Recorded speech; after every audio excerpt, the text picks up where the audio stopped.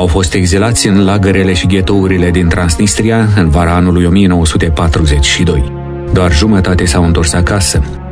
În memoria colectivă a celor 2000 de romi a rămas doar o pată neagră. Astăzi puțin cunosc despre ororile regimului antonescian.